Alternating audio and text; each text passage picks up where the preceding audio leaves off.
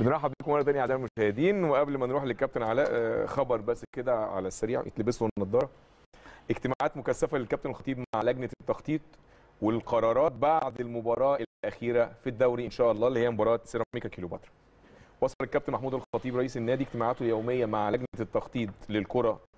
الكابتن محسن صالح والكابتن زكريا ناصف بحضور الكابتن حسام غالي عضو مجلس الإدارة وأمير توفيق مدير التعاقدات وذلك لإعادة ترتيب كافة الأمور الإدارية والفنية الخاصة بمنظومة الفريق الأول لكرة القدم بالكامل. واتخاذ خطوات عاجلة يتم الإعلان عنها عقب المباراة الأخيرة للأهلي في بطولة الدوري.